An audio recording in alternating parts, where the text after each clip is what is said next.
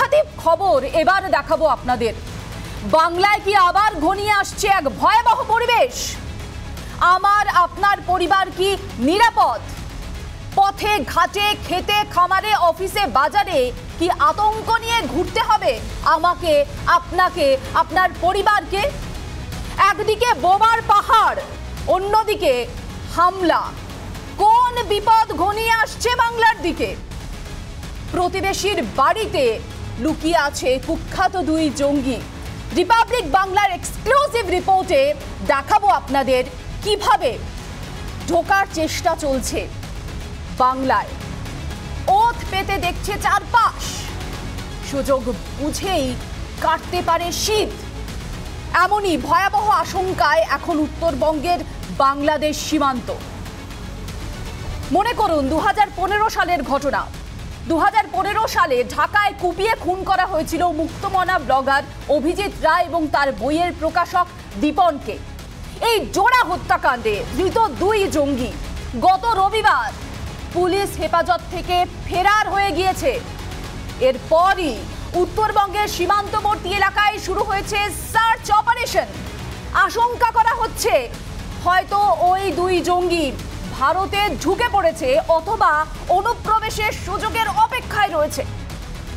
Republic বাংলার super exclusive রিপোর্টে গোটা তথ্য তুলে ধরবো আমরা। কীভাবে খুন করা হয়, কীভাবে অনুপ্রবেশের চেষ্টা চলছে, যে দুই জঙ্গির কথা বলা হচ্ছে তাদের কি পরিচয়? রিপাবলিক বাংলার আজকের দিনের সব থেকে বড় ব্রেক, সুপার এক্সক্লুসিভ রিপোর্ট। দেখুন।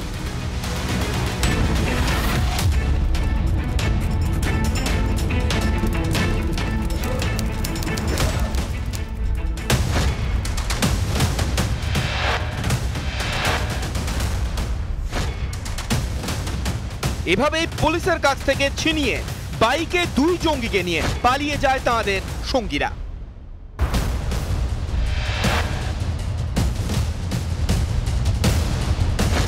ব্লগার অভিজিৎ রায় এবং প্রকাশক অরফিন দীপনকে খুনে মৃত্যুদণ্ডপ্রাপ্ত দুই জঙ্গি। একজন মইনুল হাসান ওরফে শামীম, ওরফে ইমরান। অন্যজন আবু সিদ্দিক সোহেল। মুক্তমনা ব্লগার, লেখক অভিজিৎ রায় এবং তার বইয়ের প্রকাশক ফয়সাল আরফিন দীপনকে খুন করার দায়ে আরও অনেকের সঙ্গে এই দুজনকেও ফাঁসির সাজা দিয়েছিল আদালত। অভিজিৎ রায়, বাংলাদেশি ব্লগার, যদিও থাকতেন বিদেশে, আর সেখান থেকেই বাংলাদেশের জন্য ভাবনা চিন্তা চলতো এবং একই সঙ্গে বাংলাদেশের যে উগ্র মৌলবাদ যেভাবে মাথাচাড়া দিচ্ছে, তার জন্য ঘৃণা ঝরে পড়তো তার কলমে। দু হাজার পনেরো সালের একত্রিশে অক্টোবর। সেই দিন একই সঙ্গে দীপনকে খুন করার পর সোজা সোজা দীপন এবং অভিজিৎ রায়ের হত্যাকারী চলে আসে আরেক প্রকাশনা সংস্থার দপ্তর অর্থাৎ শুদ্ধ স্বর সেখানে এসে পরপর তিনজনকে কুপিয়ে খুন করা হয় নির্মমভাবে। এই ঘটনা রীতিমতো সেই সময় দু হাজার পনেরো সালে শোরগোল ফেলে দিয়েছিল। শুধুমাত্র বাংলাদেশ নয়, গোটা বিশ্বে। রবিবার এই দুজনকে অন্য একটি মামলার শুনানিতে ঢাকার সিজেএম আদালতে হাজির করানো হয়েছিল। মৃত্যুদণ্ডপ্রাপ্ত এই দুই জঙ্গিকে যখন পুলিশি প্রহরায় আদালতে ঢোকানো হচ্ছিল, সে সময় হঠাৎ মোটর সাইকেলে করে কিছু অজ্ঞাত পরিচয় যুবক তাদের ঘিরে ধরে। তারপর দায়িত্বপ্রাপ্ত পুলিশ কর্মীদের চোখে লঙ্কা গুঁড়ো স্প্রে করে ওই দুজনকে নিয়ে পিট টান দেয় বাইক বাহিনী। ঘটার সঙ্গে সঙ্গেই আমরা অ্যালার্ট রেড অ্যালার্ট জারি করেছি। আমরা বর্ডার এলাকাগুলোতে বলে দিয়েছি, তারা যেন আমাদের দেশ থেকে পালিয়ে না যেতে পারে। পলাতক দুজনেই আনসারুল্লাহ বাংলা নামক জঙ্গি সংগঠনের সঙ্গে যুক্ত। পালিয়ে যাওয়া দুই জঙ্গির একজন হলেন মইনুল হাসান, ওরফে শামীম, ওরফে ইমরান। কে এই মইনুল হাসান? কীভাবে প্রকাশক ফয়জাল আরেফিন দীপনকে হত্যা করেছিল জঙ্গি মাইনুল হাসান শামীম? নিজেই সে স্বীকার করেছে সেই কথা। গোপন জবানবন্দিতে সে জানিয়েছে কীভাবে একের পর এক ঘটনার সঙ্গে যুক্ত হয় সে, কীভাবে জঙ্গি কার্যকলাপে তার হাতে খড়ি হয়, কীভাবে দু হাজার দশ সালে ইংরাজি শিখতে গিয়ে জঙ্গি কার্যকলাপের সঙ্গে যুক্ত হয় শামীম। তারপর দু হাজার চোদ্দ সালে জিহাদে হাতে খড়ি হয় তার। আর এক পলাতক জঙ্গি আবু সিদ্দিক সোহেল। তার আনসারুল্লাহ বাংলা এবং জেএমবি নামে দুই জঙ্গি সংগঠনের যোগ পাওয়া গিয়েছে। এই আবু সিদ্দিক ঢাকার তিতুমির কলেজে স্নাতক ছিলেন এবং তারপরেই জঙ্গি সংগঠনে তিনি যুক্ত হয়ে যান। শোনা যাচ্ছে গোটা পরিবার জঙ্গি সংগঠনের সাথে যুক্ত হয়ে পড়ে, মৌলবাদী কার্যকলাপের সঙ্গে যুক্ত হয়ে পড়ে। ভারতে পরিবার এবং আবু সিদ্দিকের একাধিকবার আসা যাওয়া রয়েছে।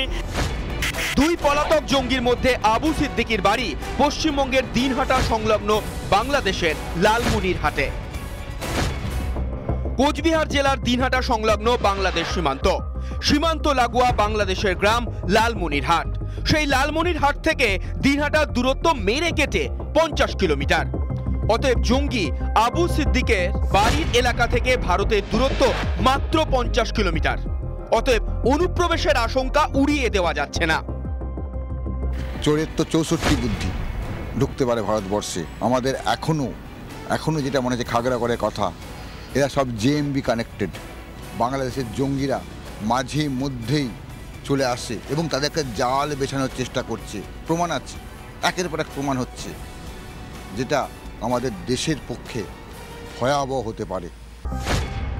যদি দিনহাটাতে ওই দুই জঙ্গি ঢুকে গিয়েও থাকে, তাহলে তারা পশ্চিমবঙ্গ করিডোর হিসেবেও ব্যবহার করতে পারে। চলে যেতে পারে সিকিমে, অথবা চলে যেতে পারে অসমে, ঘাঁটি গাড়তে পারে নেপাল, অথবা চলে যেতে পারে ভুটানেও। রিপাবলিক বাংলা এর আগে দেখিয়েছিল কীভাবে পশ্চিমবঙ্গে জাল বিস্তার করেছিল বাংলাদেশের জেএমবি জঙ্গিরা। ফলে পশ্চিমবঙ্গকে যে বহুদিন ধরেই বাংলাদেশি জঙ্গিরা করিডোর হিসেবে ব্যবহার করছে, তা বলার অপেক্ষা রাখে না। ইদানিং আরও একটি বিষয় সামনে আসছে। তা হলো, সীমান্তবর্তী এলাকায় উদ্ধার হচ্ছে বিপুল অস্ত্র। বুধবারই নদিয়ার কৃষ্ণনগরে উদ্ধার অস্ত্রের সঙ্গে বাংলাদেশি যোগ পাওয়া গিয়েছে। এমনকি এক বাংলাদেশি সুপার কিলারের তত্ত্ব সামনে আসছে। আর এসব থেকে একটা বিষয় স্পষ্ট হয়ে যাচ্ছে। ভারত, বাংলাদেশ সীমান্ত দেশের নিরাপত্তার জন্য কতটা জরুরি? আর নিরাপত্তা আলগা মানেই পশ্চিমবঙ্গে জঙ্গি অনুপ্রবেশ। রিপাবলিক বাংলা।